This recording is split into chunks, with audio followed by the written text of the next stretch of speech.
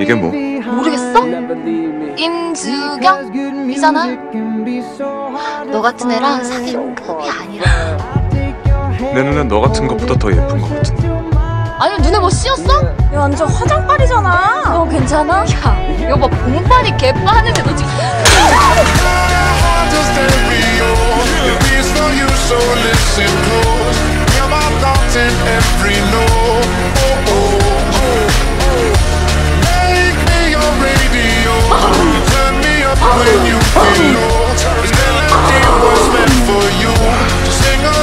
To my stereo.